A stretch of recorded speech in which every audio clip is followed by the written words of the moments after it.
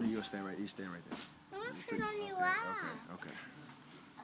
Okay. It's entertaining basketball, but it- it's uh, we're we're both supposed to uh, you know. That's too loud, I know. Hold on one second, okay.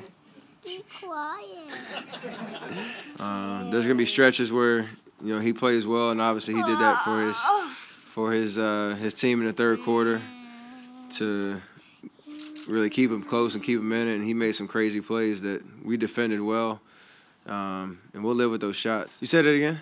Did you feel like you needed to do a little bit extra offensively in the fourth quarter to pick this team up and, and lead them to the victory? What's wrong? Come sit right here. Thank you. Um, you come come out and want to be aggressive, but uh, it always doesn't click, and you kind of be a resilient team and find different ways to win games.